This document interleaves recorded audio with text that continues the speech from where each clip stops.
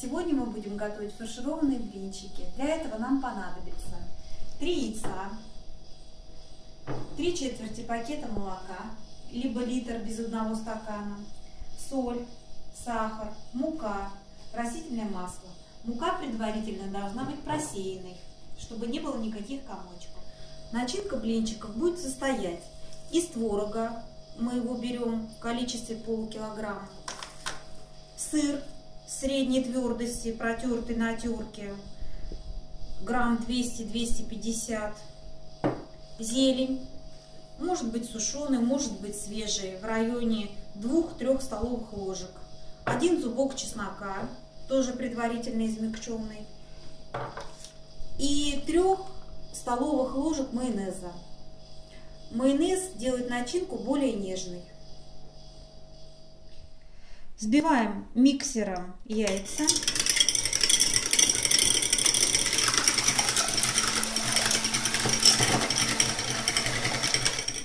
Затем добавляем молоко.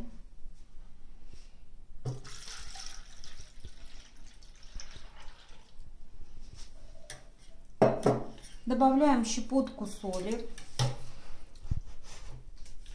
Добавляем для вкуса, чтобы блины были такие, как бы, вкусовые качества имели.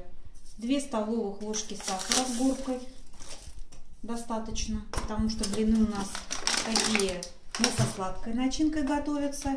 И продолжаем дальше взбивать молоко, яйца, соль и сахар. Затем мы добавляем просеянную муку. Мука где-то сюда идет в количестве двух стаканов. Мука предварительно просеянная. Мы ее добавляем.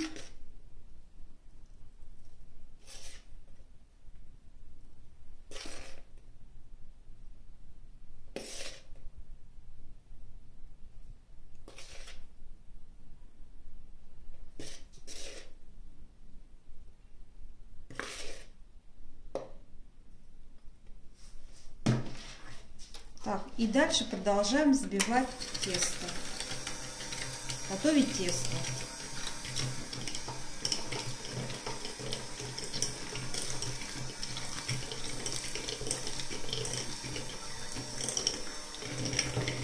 Я люблю, чтобы блины были приготовлены на более жирном молоке. Они как бы вкуснее, но это на любителя. То есть каждый любит по-своему. Так, добавляем оставшуюся муку.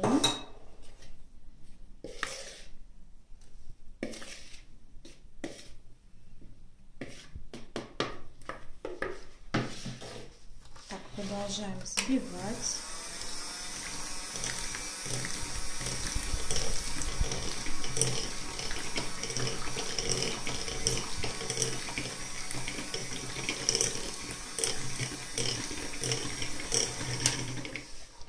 Затем мы добавляем где-то на эту пропорцию 4 столовых, 4-5 столовых ложек растительного масла. Я так зрительно смотрю, чтобы тесто было такое без комочков.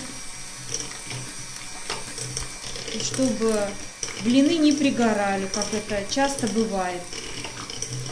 Это защищает масло от пригорания, чтобы блины хорошо переворачивались. Мы взбили тесто, значит оно у нас получилось. Комочков нет, но все равно ему нужно постоять минут 15-20.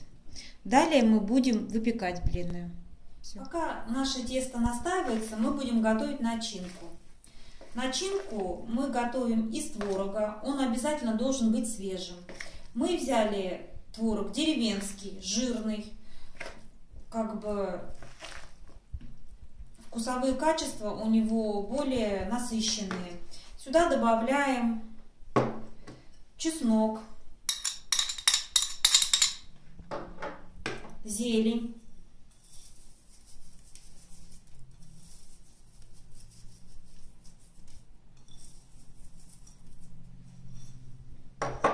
Затем добавляем сыр.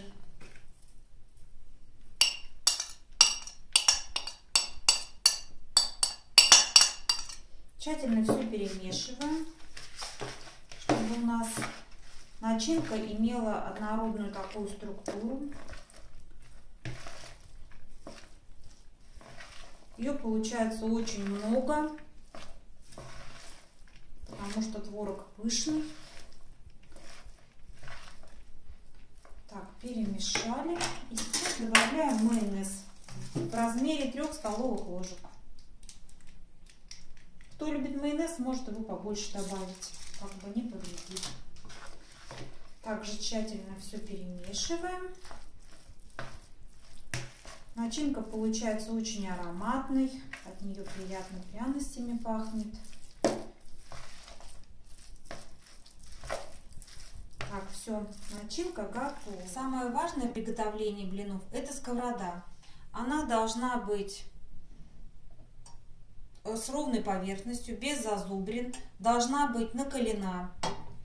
И чтобы первый блин у нас не получился комом, мы обязательно наливаем в нее немножко растительного масла. Оно должно нагреться. Нагреться. И сейчас мы будем выпекать блинчики. Значит,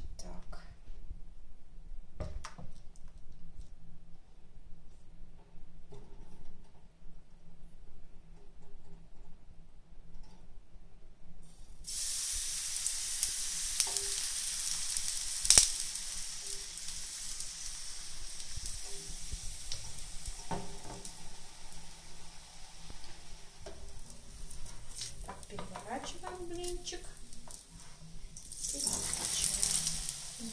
Фаршировке блинчиков. Значит, берем блинчик, в него кладем начинку,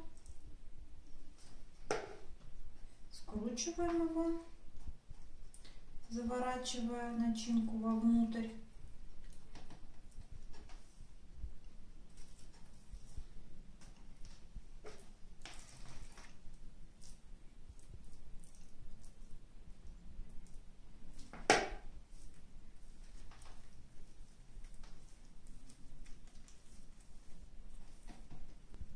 Наш процесс подошел к концу. Мы закончили выпекание блинчиков, значит их получилось достаточно много. Можно угостить любую компанию, взять с собой на работу. Хранятся они в холодильнике 3-4 дня, можно их заморозить. Приятного аппетита!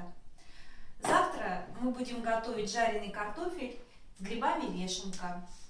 Пожалуйста, подписывайтесь на наш канал.